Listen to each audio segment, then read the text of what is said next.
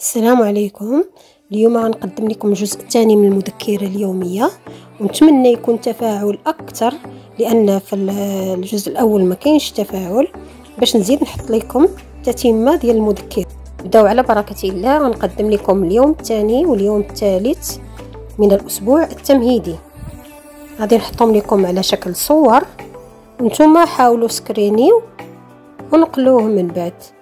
نتمنى نكون غنفيدكم بهذه المذكرة خصوصا للمربيات الجدد وبالتوفيق إن شاء الله.